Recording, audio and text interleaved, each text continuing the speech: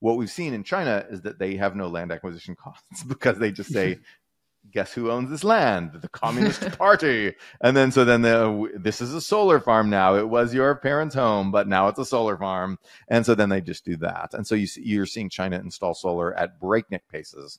Now, what we don't have enough land for is wind. Wind takes much, much, much more land than solar.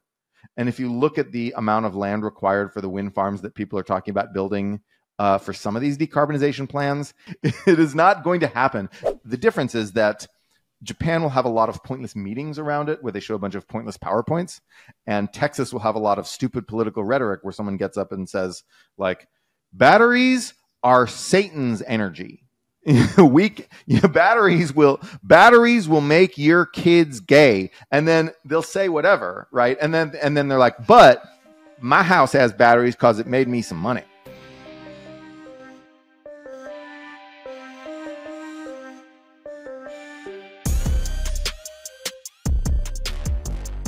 Welcome to Econ 102, where economist Noah Smith and I make sense of what's happening in the news, technology, business, and beyond through the lens of economics. Let's jump right in. Noah, welcome to the pod. Hey, thanks for having me on.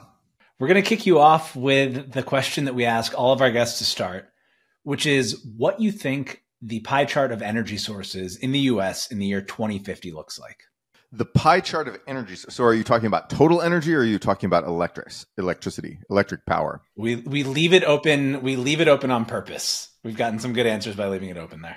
Because you get different responses depending on what people assume you mean. Maybe you make synthetic fuels. Maybe you electrify more yep. stuff. It's just a more open ended, more open ended. So question. total total energy. What do I think? We'll the, and, and what was the year again? Remind me. 2050. Oh, 2050. Okay. So um, let's see it will be about 20% oil um about um let's see 20 25% gas um about 4 to 5% uh, nuclear hydro and other like miscellaneous renewable sources and the rest will be uh, solar and wind this is why we're doing this episode. So yeah, the the point of this episode, we're doing this podcast on on nuclear fission and fusion. The point of this one is to get takes from people who completely or partially disagree with us. Um, and and you've written a bunch of good pieces on why you're bullish on solar, why you're bullish on batteries, why you're bullish on the combination of those two, why solar is happening and nuclear is mostly not. So I'd love to start with your argument on why nuclear is not happen- happening and why you think that's uh, maybe more hopeless than some of the other people that we've spoken to. Right. So, so the answer to why nuclear is not happening there is actually twofold. Um, there's the question of why didn't nuclear happen in the past, and there's a question of why won't nuclear happen in the future. Uh, much, uh, uh, you know, more than more than a bit. Um, the reason why it didn't happen in the past is mostly just regulation. So if you look at um, well, well, okay. So, so a lot of it is regulation. If you if you look at France, France built a ton of nuclear power. You know, ran more than seventy percent of its grid on nuclear power. Uh, so obviously, it's possible. the The thing that was the other thing that was hard for nuclear power in the past, besides regulatory, you know, uh, streamlining and approval, was financing because nuclear power a nuclear power plant is large it requires a huge amount of upfront financing and the payoff is measured in decades. And that is not the kind of thing that you can go to and get a loan from the bank for and it is not even the kind of thing you can really borrow from the bond markets for. So when you looked at ge and, and westinghouse and the other people who were building these nuclear plants back in the mid-century mid-20th century you saw massive government financing of these things. And that's another reason for France's success is because if there's a country that's willing to do massive government financing of industrial projects, it is France. Um, they love government in France. they, they will have the government do anything. And so, um, and so uh, that was another reason why nuclear didn't take off here as much as it should have. Uh, but uh, but you know, regulation, of course, is that's a story everybody sort of knows. Uh, you know, people got afraid of of Three Mile Island and whatnot. So in the 70s and 80s, nuclear really stagnated, and um, things like basically things like that. So now that's that's the past, and those factors are still largely present. I think our government would be more willing to do a lot of the big financing now, given our, our need to decarbonize. Um, so that is less of a factor than before. But what's more of a factor now is cost issues. And so um, what's interesting is that apparently, for reasons that I don't un- actually understand, uh, things anything you can build in a factory and ship out is subject to a learning curve where the more you build of it the cheaper it gets.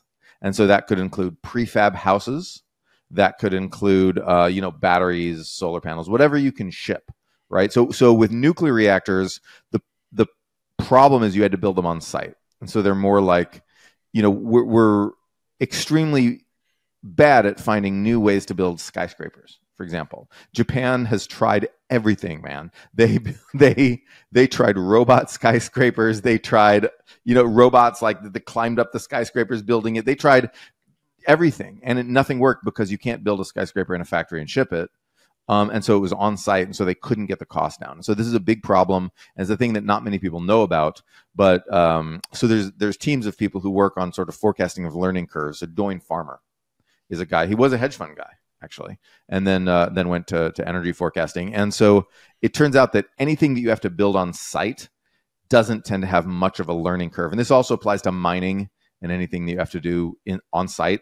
So like if you look at minerals prices, you know they they're about the same. They they really um, they they stay flat. We have some productivity improvements, but they largely cancel out the sort of the the mining out the easy to get stuff early on. It's so it's um so that going forward is going to be a big problem for nuclear because the cost is not really going down. And so for a while in South Korea, uh, so so at first the cost was going down in the United States, and then it started bending and going up. South Korea has experienced a similar path. You know, South for years when South Korea was starting to build nuclear, they were getting better and better at it, and people were like, "Oh, South Korea does, has a learning curve." Well, well, then it stopped. and um, and so the the problem is that nuclear doesn't seem to have this learning curve that a lot of the other energy sources have. But I will note, by the way, that this is not that, that this is not as bad a thing as it used to be. So so in the in the 70s and 80s, our failure to build nuclear was very bad for us. But in the going forward, our failure to build nuclear will be more about the availability of even cheaper alternatives than nuclear um, that also have the other characteristics we want, such as not producing carbon dioxide. Um, so it's it's a sense of like yes nuclear is good but we invented something even better in in most ways. And um and so that's going to be a thing going forward. So so yes there's no learning curve for nuclear but that's not the worst. It's no longer the the really terrible catastrophic news for us. It would have been great had we been able to build nuclear in the 70s and 80s um, like france did but we didn't and that sucks. Um, but going ahead we've got we, we've invented some other cheaper stuff yeah, no, great to meet you, by the way, Julia here. Oh, great to meet you. Sorry if that was too long of a rant. No, I love it. I wanted to. I wanted to just follow up on what you talked about with the learning curves, and we we've seen it in the data, right? Construction, we've gotten actually worse at building in the last few decades, and manufacturing, we've gotten better as a country, right? We're more productive there. How do how do you think about the fact that we can build some other large infrastructure? Think like oil and gas projects, like the big drilling rigs, the even just like building coal plants, natural gas plants versus a nuclear plant? Is there something that is like so complex about nuclear? Is it actually a regulation thing? Like we've just over-regulated it and now we have to have, you know, build a million extra safety features on the plant or, or what is it about nuclear in particular that that makes it just like so exorbitantly costly to build? Well, first of all, nothing because um, you don't have learning curves for gas plants or coal plants either. Those are similar in their lack of learning curve. They just started out cheaper. And they're not that much cheaper than nuclear. They're like a bit cheaper than nuclear. Um, but but like nuclear is a little more expensive than like a gas plant or coal plant, but it's not prohibitively so. Um, so you don't see learning curves with these other uh, construction projects either that are built on site. You're not seeing gas plants go like that. You're not seeing coal plants go like that. You did see some learning curves for the machinery used for fracking because that was built in a factory. Um, now that's mostly stopped, but it got that got fracking pretty cheap. You know the the machines, the big pumps that you use to pump the liquid in, and and the things used to catch the gas.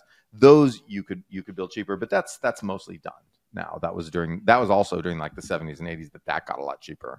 Um, and so so really you know, there, there's no advantage that those things have over nuclear besides being a little cheaper to start with. Now, there are a few extra considerations you have with nuclear.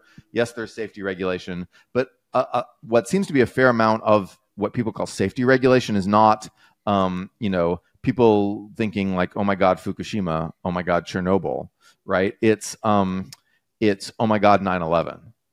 So what you see is you have now to build nuclear, you have to buy a whole lot of land, a huge amount of land for a perimeter that you can patrol with security.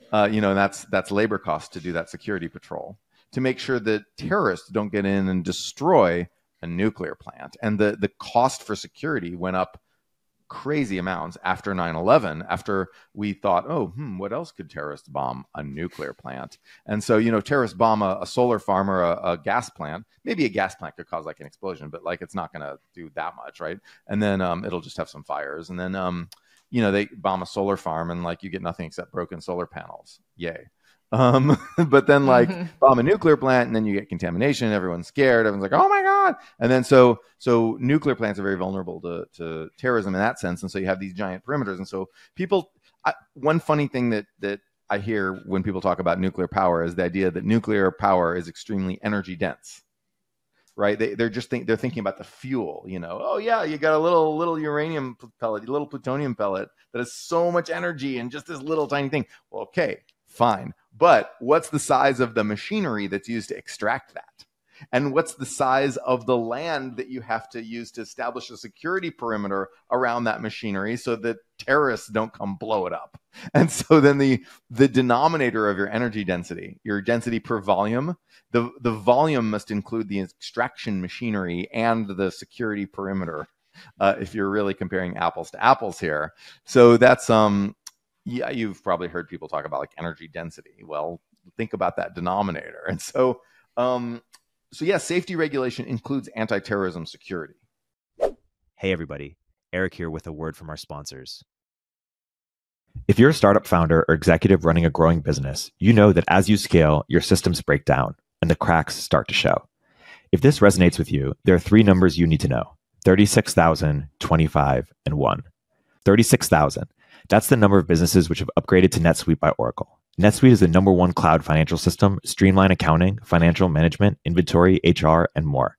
25.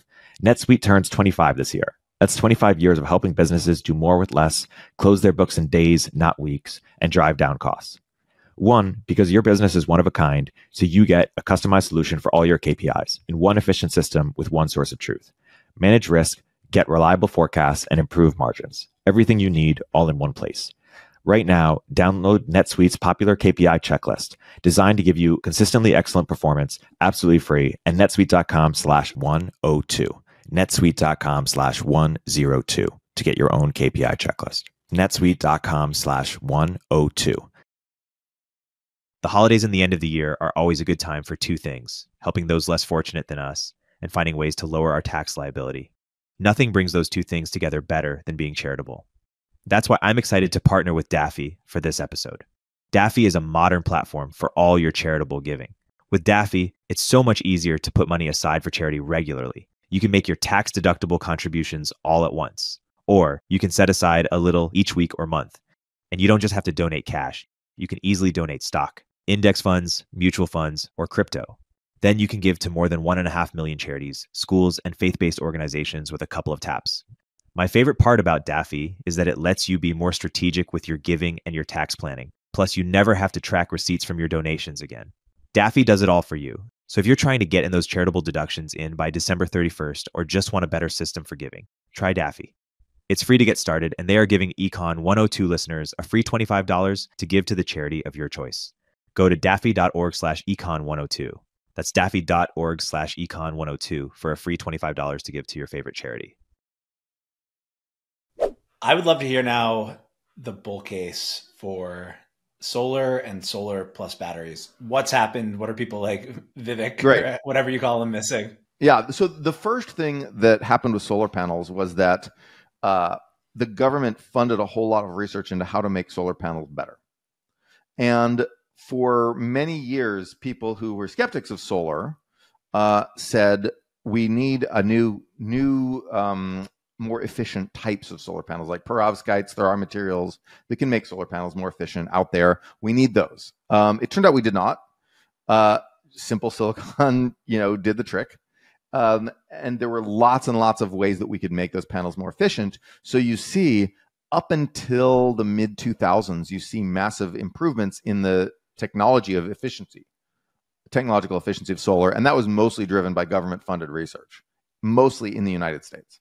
And um, and then you see the switchover where solar panels don't get cheap yet, but they get cheap enough that people start to install more of them, and then your learning curve takes over because factories are, you know, uh, private companies are scaling up.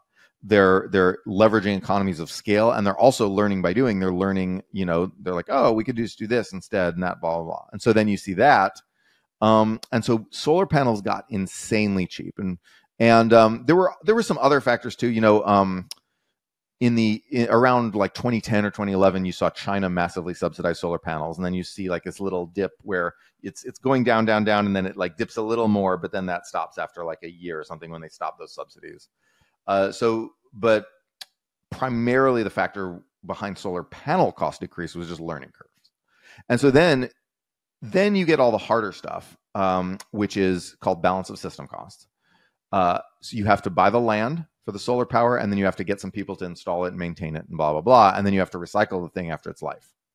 So we're seeing cost improvements in almost all those things, um, except land acquisition. That's the the one thing that you don't see, you don't really see cost improvements in. Um, but then you see cost improvements in installation. Like uh, so, if you look at balance of system costs, they've been declining at a much gentler slope than the manufacturing. But basically, panels are dirt cheap. Panels are a commodity you can get solar panels for free now. It's like too cheap to meter, right? But but the the installation costs have been going down and the maintenance costs, um, but not super fast, like pretty steadily. And then the the land cost, you know, is still the the big cost. And going forward, that is going to be the main continued barrier to putting to just making an economy based on solar. What we've seen in China is that they have no land acquisition costs because they just say guess who owns this land? The Communist Party. And then so then the, this is a solar farm now. It was your parents' home, but now it's a solar farm. And so then they just do that. And so you see, you're seeing China install solar at breakneck paces. This is not about subsidizing panels. Panels are already dirt cheap. This is not about cheap installation labor. The China's labor is not especially cheap anymore. Uh, this is about land in China. They can just put put it wherever they want. America is installing solar power at a, at a, fast and accelerating rate, but nothing near where China is, and, and Europe is installing more too. And the the as you would expect, the main problem is that we have a much much more laborious process of land acquisition. Right. Of course, that's going to hit everything else. That's going to hit coal and gas and nuclear too. Uh, probably gas the least because gas is really small.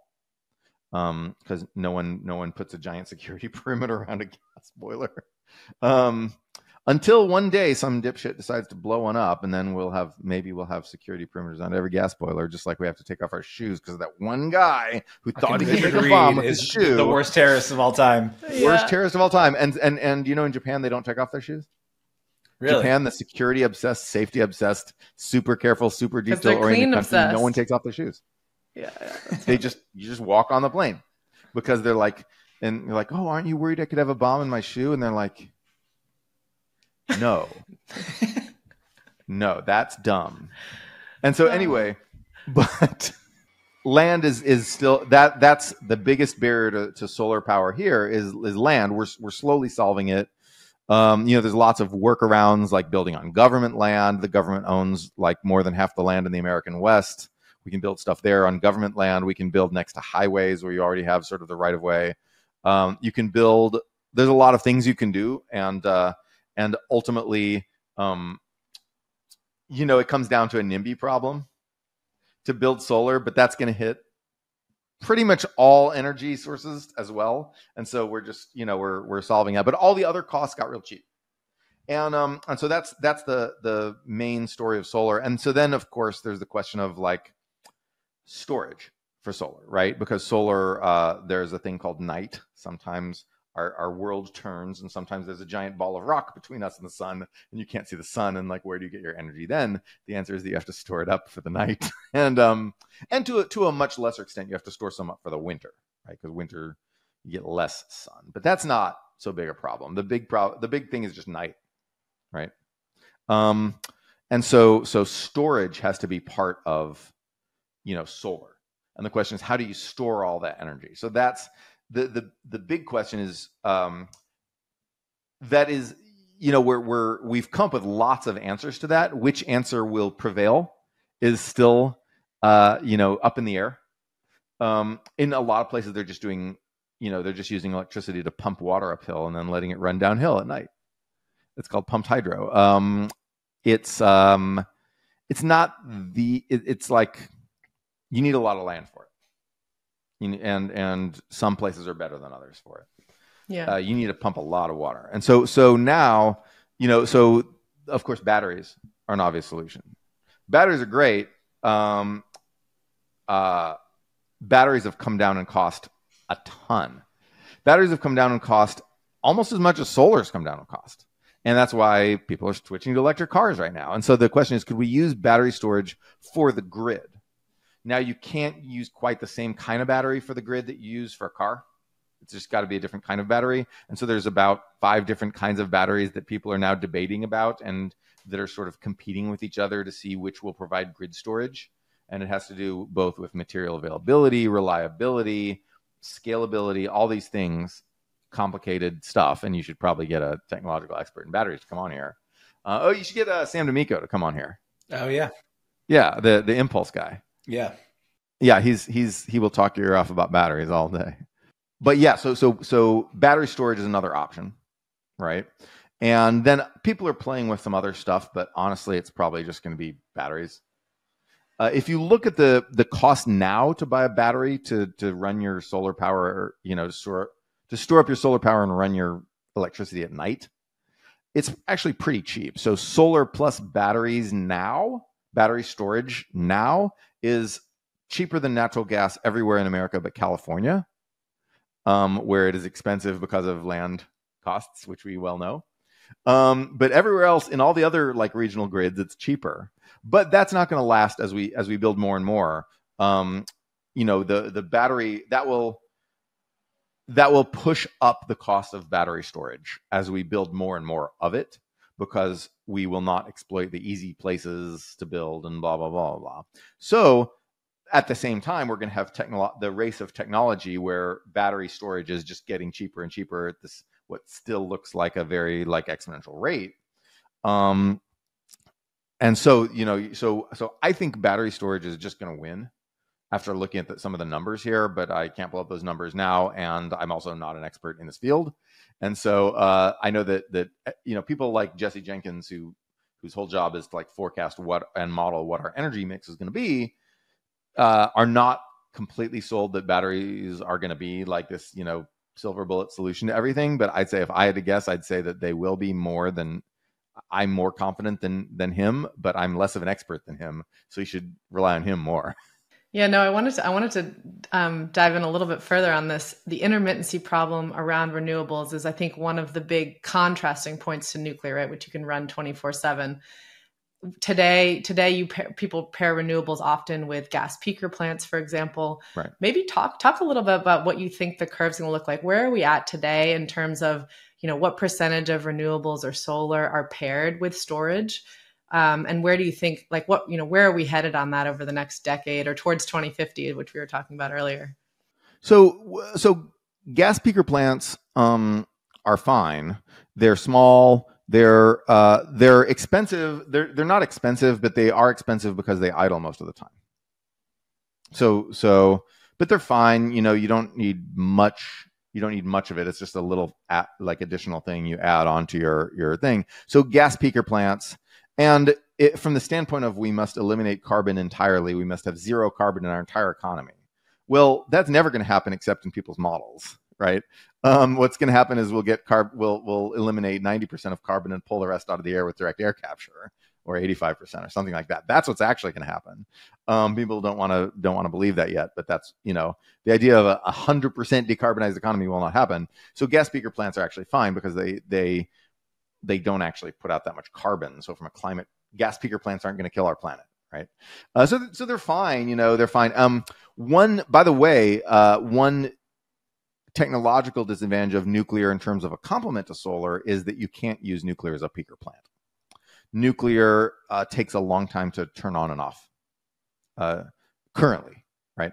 The the current kind of nuclear that we use takes a long time to turn on and off um, because our I could go on a rant about how the way we build nuclear plants is like very dumb and Stone Age, and someday someone needs to invent a better way, and they will.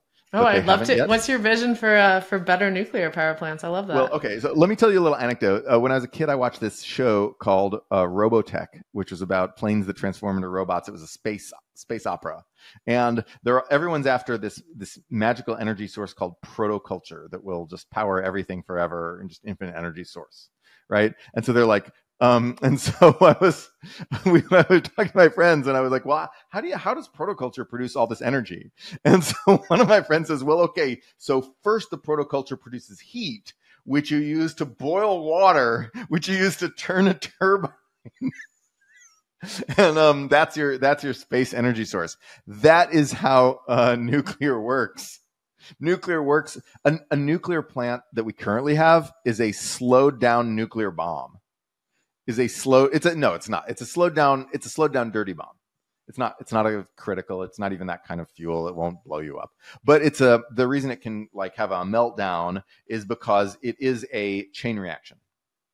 We and we take have a chain reaction and then you have this chain reaction going on and then you slow it down by sticking metal things that absorb the neutrons and sort of dampen the chain reaction just enough so that it keeps going. But that's not the kind of thing you can easily turn on and off. Like a chain reaction is not a thing you can easily turn on and off and so the fact that we're building these nuclear plants, the, the, the nuclear power relies on like a, a, a dampened chain reaction is is kind of an L for nuclear power because in in the 1940s that's the best we could think of, right?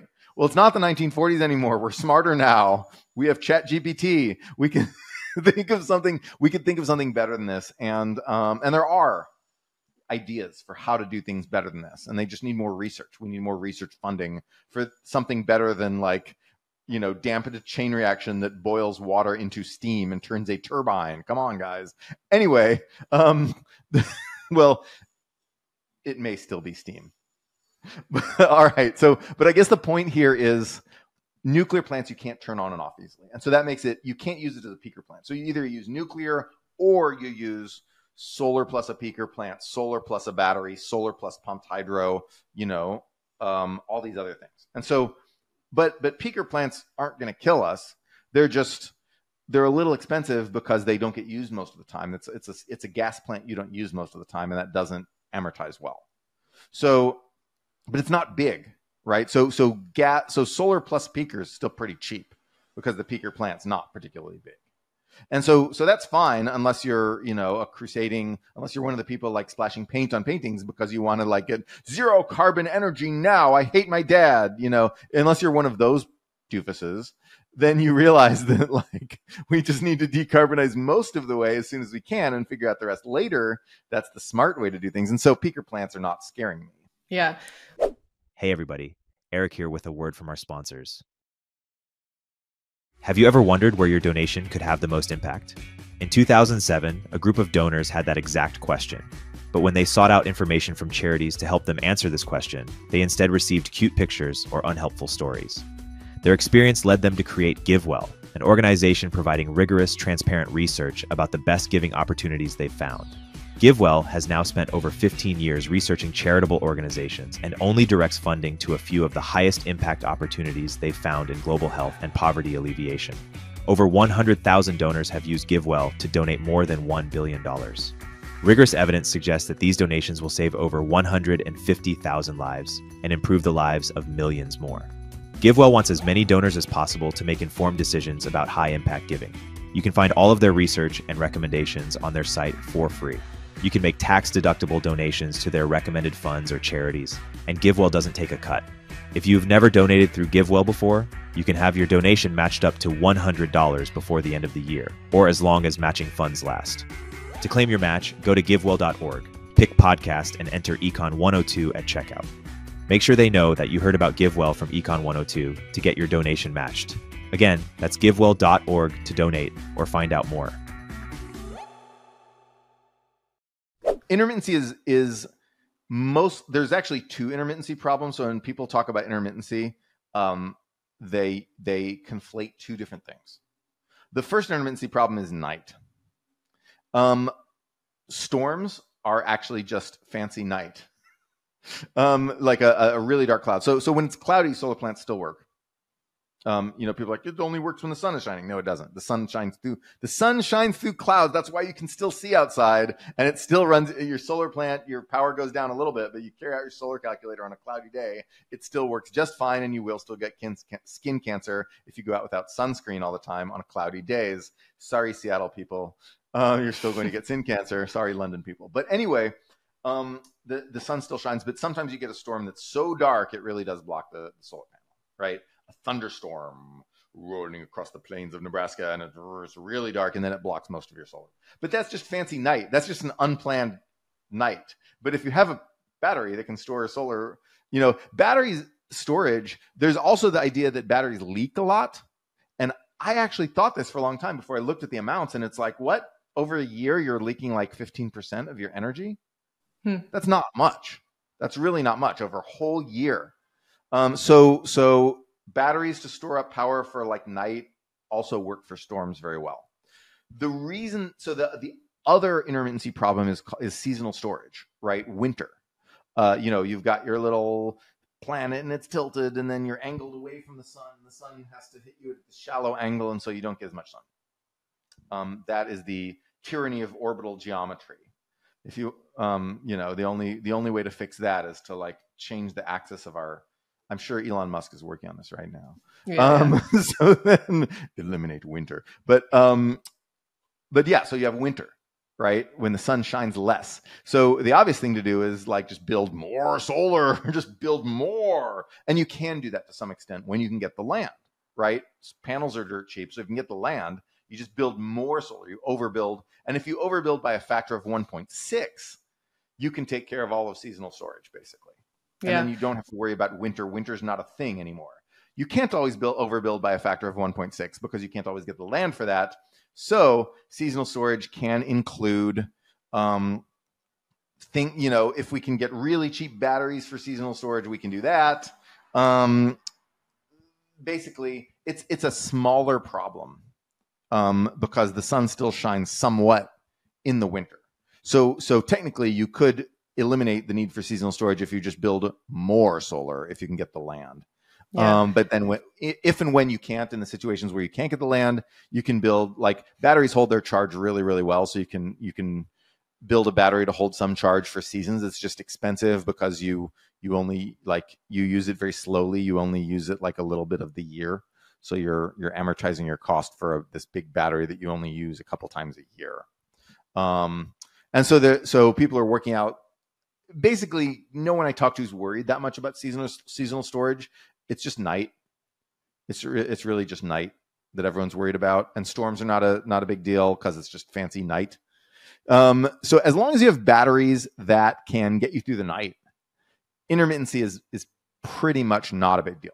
And where, yeah, where, maybe help us understand where are we at with that today? Like, I don't know if you'd ha- know these numbers offhand, but like, what percentage of solar today is paired with batteries that can last us through the night? And what's, I guess, the path to having a majority of solar having that? Well, I, I don't know that. I don't know that. Um, so I would imagine it's small. yeah, yeah. So, so I don't actually know those numbers off the top of my head.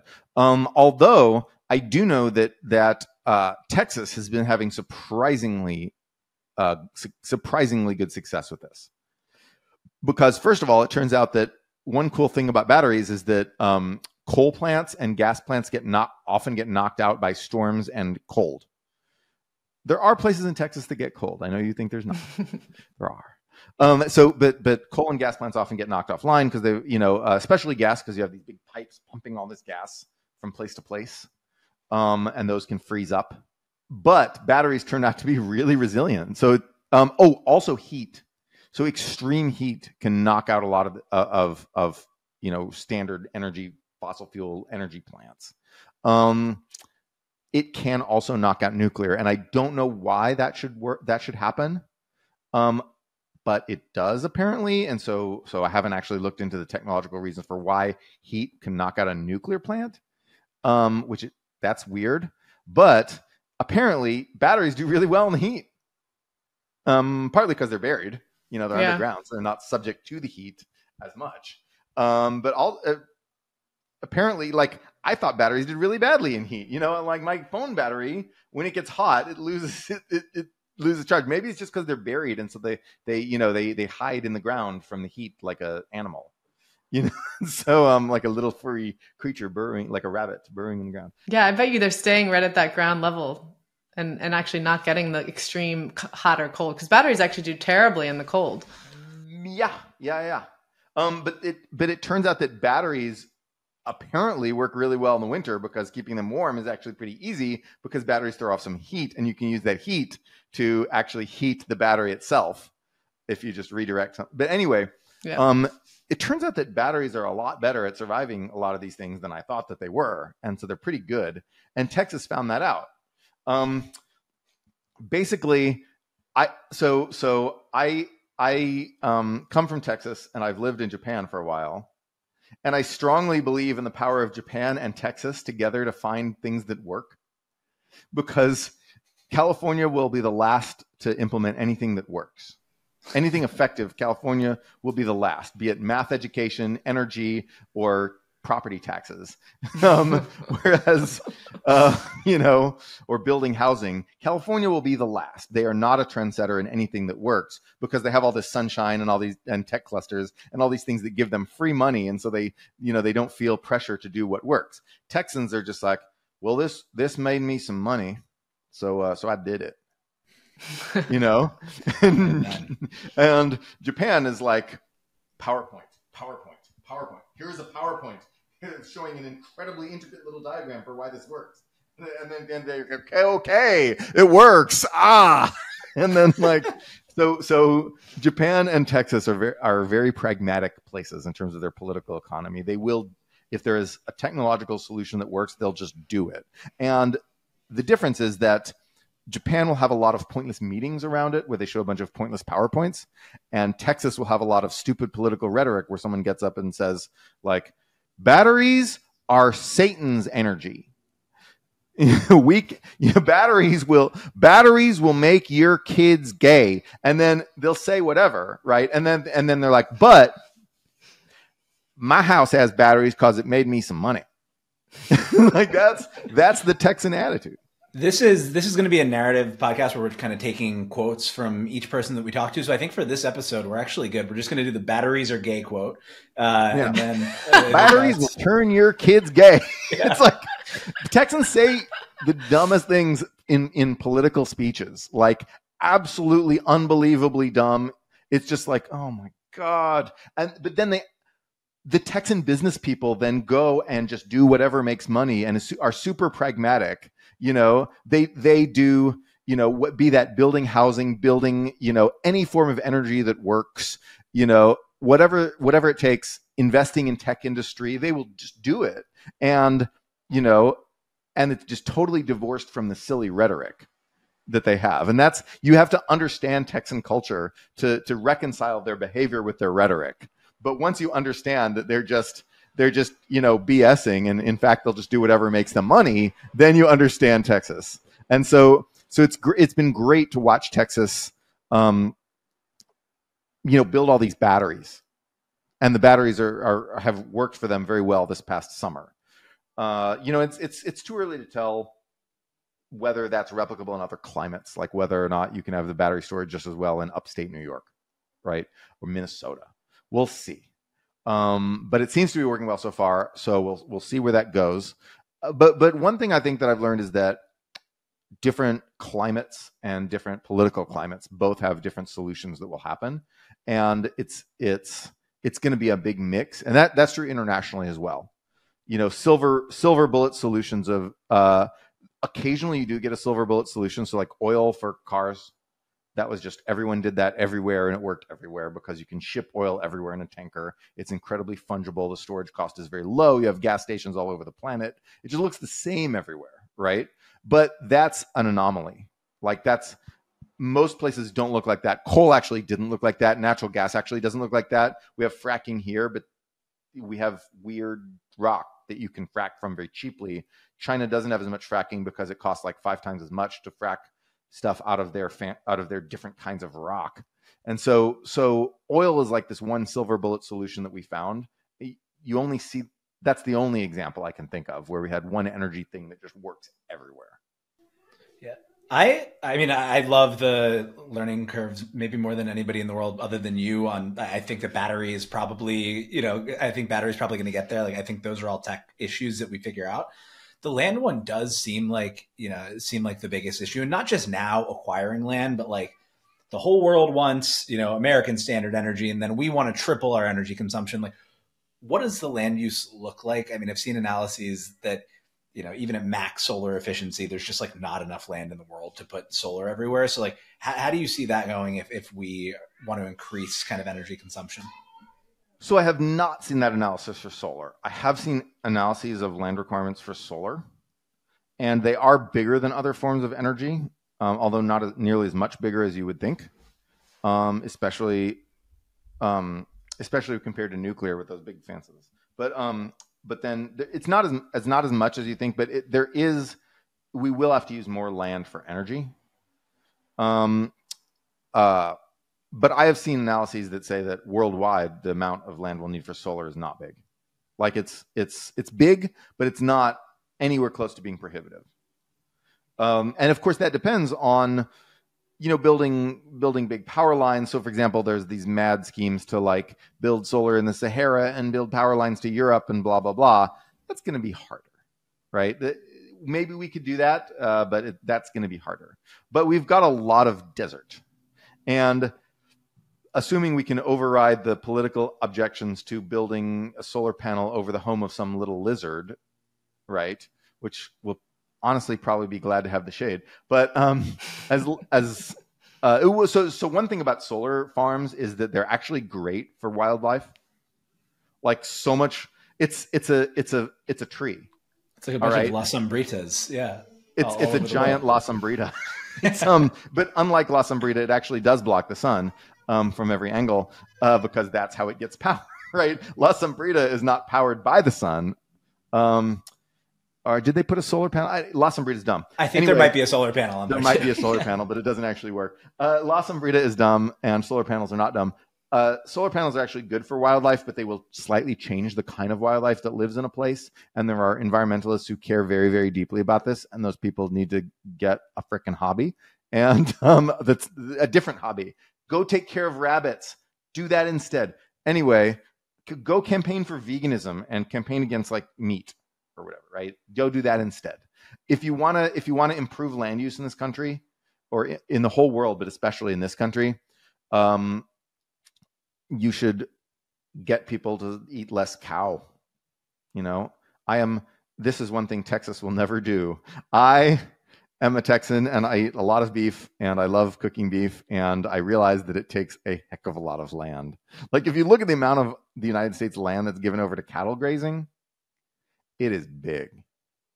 It is really big. and so then um, if you want to improve land use, just just focus on that. But the point is that we have a lot of desert, right? And we can just put solar panels in those deserts. And if we want to run a really giant, big, thick power cable, whatever, low loss power cable from a desert to Michigan. We can do that because unlike running something, it, no one's going to come and cut it. No, no militia with some acronym that no one remembers is going to just come and be like, "We cut your cable," ah, and like wave their AK-47s in the air. like that's not going to happen. I hope. Um, maybe if you routed the cable through San Francisco, this would happen. Otherwise, no. Um, so we have enough land. Um, I have if you have an analysis that says we don't have enough land, please show it to me because I've seen exactly the opposite. Now, what we don't have enough land for is wind. Wind takes much, much, much more land than solar.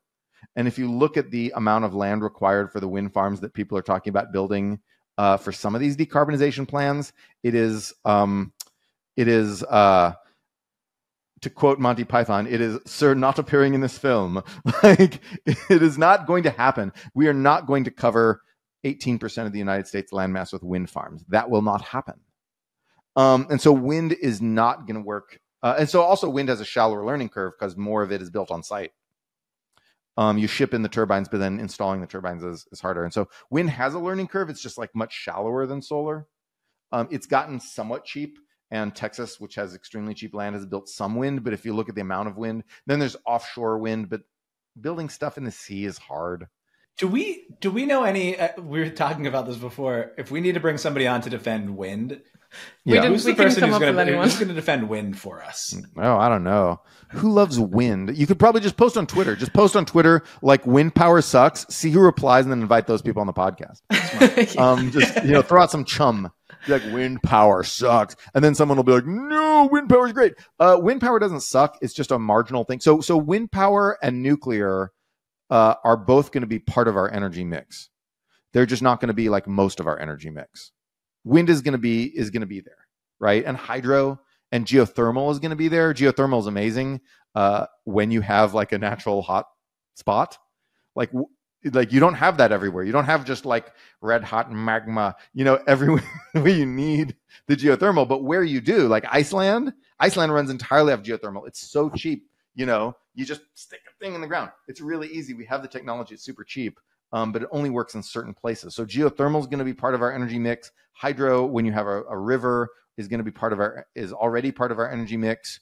Wind, when you have cheap land in places where you have cheap land, is going to be part of our energy mix. Nuclear, where you have people who aren't insane about building nuclear, you know, are is going to be part of our energy mix. And um, and all these things are going to be part of our mix. It's just that solar has that amazing learning. Solar and batteries have that amazing learning curve. And so I think they're going to be a bigger part of our energy mix. They're a more scalable part of our energy mix than, but Hmm. in the end, it's going to be like a team of, of energy sources. Speaking of energy mix, what do you make of the pace that we're building solar right now? Do you think we're like working at a good pace in the US? Um, should should actually be able to do more? And if we're not doing what you think would be like kind of our ideal outcome, what's standing in the way? We have mentioned land. There's probably some other things, you know. And and, and how would you stack rank those things kind of standing in the way? Number one, land. Number two, I don't even care. It is all land. um, it's it's land acquisition, not just the cost, but also the availability. Like you have to go through NEPA, you know, the, the delays. Uh, NEPA, or in California, you have to go through CEQA, which is like you Mm. know NEPA on a bad day. Mhm. Um, it's like it's like NEPA on bath salts. um, and so, and so um, yeah, so so it's all it's all just land. and Um, and do, do you, is that like an intractable problem? Like, can we can we solve this? No. Yeah, we can solve it. Okay, how do we Um, solve it? Uh, well, it's called eminent domain. Okay, is that the strategy here then? we actually have the ability to do what China does. We just don't do it often.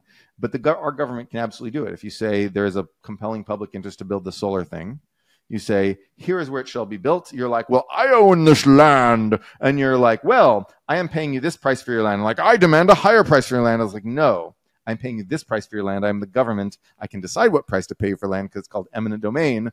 you thought and you had private property ownership. You know, is that realistic? Like, do you think Yes. that will actually happen? Mm, in in some places. In some places, it'll happen. Um, but all it has to do is happen a few times before people are like, okay, I see, I see what's going on. Um, the the progressive industrialists like Todd Tucker and the Roosevelt Institute are all talking about the Defense Production Act, like how you can use Defense Production Act to overcome like NIMBYism. Like, no, that is not what you use the Defense Production Act for. You are dreaming. The Defense Production Act is for um, coordinating supply chains. The Defense Production Act is like is like, "Hi Ford, I need you to make masks now for COVID, and Yeah. instead of cars." And Ford is like, "Okay," and then you do that. It's like it's it's ba- it's like World War II stuff. The land acquisition happens through eminent domain, and um, we in America have have decided to farm out every decision on land use and and everything to the courts. Um, when you we need to take some of that back for the administrative state. And when we get serious enough about it, we do. And so there are cases of things where we just build stuff incredibly fast and we just, you know, we just decide, okay, we're going to build this thing and then it just gets built. This one's, this one's so interesting because I was thinking through and I'd say this is like a two minute thought exercise. So this is not well thought out, but was thinking through when energy gets really cheap, what's valuable, like when everything kind of comes down the curve, what's valuable. And the only thing left is land, right? Like if energy gets cheap enough, if manufacturing gets good enough, if what uh, like the internet happens to everything, land is the only valuable thing. We're gonna have this future state where solar makes energy cheap enough, but to get any more of it, we're gonna have to take the most valuable thing from people. Is that is that where is that where the world might be going? Well, land will be one of the last remaining valuable things. Um, uh, information will still be valuable. We thought the we thought the internet would make information free, but it turns out that disinformation is cheaper to produce. Hmm. um, so you saw it today uh, it, in a lot of search engines when you search for Tank Man, the the Chinese you know guy, the the photo you get an AI generated uh, photo, an AI generated art of Tank Man taking a selfie in front of the tank. so so anyway, there will be lots of things that are valuable even after energy gets cheap. Um, but uh, land is certainly going to be one thing that people don't want to give up because it's not. You're not just talking about land. You're you're not talking about like just a, a flat space of rock to build something on. You're talking about um, you're talking about proximity to things. Yep. You're talking about views you know, oh my nice view. I don't like this solar panel in my backyard. You're talking about this, um, you know, sunlight. It's like, oh, you built a skyscraper and it blocked my sunlight, and I can't see. Like, there's people in Manhattan now claiming, complaining about a new skyscraper because it blocks their view of a different skyscraper that they were used to looking at. That we we call that land cost, but it's you know, but it's actually just it's it's location, right? Why why do people still pay out the ears? Um, money out the ears. Why do people still pay out the ears to live in San Francisco when people are like smashing their cars and pooping on their doorstep? Why? Because I, of clustering You've come to the wrong place. I, I don't. I, I, don't get it. No, I've come to the right place, which is San Francisco. No, um, so wait, you don't live in San Francisco? No, no, neither of us do. Okay, I do, and so I live in Cerebral Valley now. I just moved to Cerebral Valley, the hottest neighborhood in the town. Um, anyway, uh, no, the um the reason people live in San Francisco is clustering effects. Yeah. It's so nerds can be close to other nerds. Also, it's sunlight. You know, everyone likes sunlight, and it's got nice hills, and it's got the old Victorians, and it's got the beach right there. But really, it's just nerds being close to other nerds, and that is why they move there. So, so a lot of the land stuff is actually just proximity to things. It's location. The the um, you know, Georgism, Henry George, and all that stuff. Yep. Yeah. And the the problem with online Georgism is that everyone just associates Henry George just with the land taxes. I love land taxes. Land taxes are great, but there are many other tools for reducing the dominance of land over our civilization. And so, for uh, one of those is in poor countries, you can do agrarian land reform. Uh, basically, you eminent domain farms and give it to farm workers, and you uh, this this does all kinds of great stuff for your country um, yes, it really does. Expropriating landlords does great things for your country. Um, and the, by the way, the greatest thing about that is that then the landlords have a whole bunch of cash and no land anymore, and so they all go start manufacturing businesses in the cities. Huh. That's like um, the story of South Korea, right? it, it is, yeah, yeah, yeah. And um, and and uh, basically everywhere uh, that does that does land reform. Yeah but they're all, also like eminent domain just just deciding like we're going to build stuff we're going to appropriate the value of land for the public is is amazingly powerful yeah we only have we only have five minutes left here and i i don't know if i know your thoughts on fusion so i feel like i need to just get you ranting on what you think about fusion as part of the the energy future maybe zoom out to 2100 or uh, however you want to answer fusion in the long term, that's where we're going to get our energy from. You know, we're going to, fusion's hard, but eventually that is where we'll get the energy from because that's the only thing that can really take us into space easily. I mean, you can have solar panels on spacecraft, and you will, but really, it's going to be fusion that lets us zip around the solar system, and it'll be a fusion reactor that we plop down in Europa or wherever that we colonize, and all this stuff. That's all going to be that's all going to have to be fusion, and ultimately, um, we will be able to shrink our land the land footprint of our energy use if the long term uh, future of human civilization is basically we all live in awesome Tokyo type cities, and then the rest of the world gets rewilded, and we just go there to like hike and do outdoor and rock climb and do outdoorsy stuff. That's the future of humanity. That's the good future. That's the future we must build, uh, where we we rewild most of the world and use it for outdoorsy sports and fun, and then we live in awesome cities like Tokyo, where we get to go to like a new cool art gallery every week, and then um, and and uh, and yet live in oddly large houses in the middle of Tokyo because you can do that. Hmm. But that's that's our future. And in that future we're going to use fusion to reduce our land footprint right? We just have to figure out how fusion is going to work. You know there's 20 different fusion companies and and i'd say that there there's steady progress but they're not there yet. Um, but it will get there. Uh, there's a guy named will jack that you should have on your show. Um, he is a, a like a fusion vc he's doing fusion vc stuff and his his wife is like a top fusion engineer person um, and so they they will talk your ear off about all the awesomeness of fusion. But uh, but yeah, that that's our long term energy future is fusion. It's got to be. If the stars use it, why wouldn't we use it? Amen. Yeah, ultimately, solar power solar power is just secondhand fusion. It's inefficient fusion. Yeah, it's inefficient fusion and um, inefficient land intensive fusion. So ultimately, we'll make our own little stars. I love it. That's a great place to end. Noah, thanks for joining us today. Thank you for having me on. See you later.